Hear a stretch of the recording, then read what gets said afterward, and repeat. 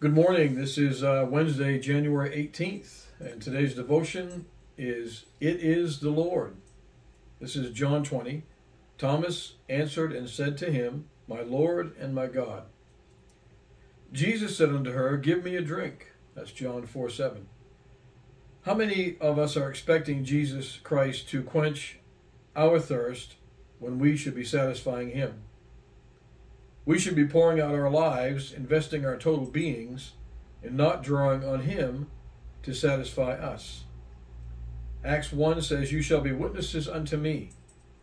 That means lives of pure, uncompromising, and unrestrained devotion to the Lord Jesus, which will be satisfying to Him wherever He may send us. Beware of anything that competes with your loyalty to Jesus Christ. The greatest competitor of true devotion to Jesus is the service that we do for him. The goal of the call of God is his satisfaction, not simply that we should do something for him. We are not sent to do battle for God, but to be used by God in his battles.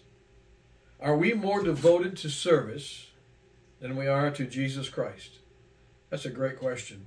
Sometimes we can be so caught up in doing in accomplishing that that's what we serve. We actually serve the service, as he said, and not Jesus Christ. The challenge I have for us today is Does the Lord find satisfaction in our service to Him? Are we more devoted to service than we are to God Himself? Let's pray. Father, we thank you today that you do indeed call us to service. But Lord, it's our prayer that we would never be devoted to the service, that we be devoted to you.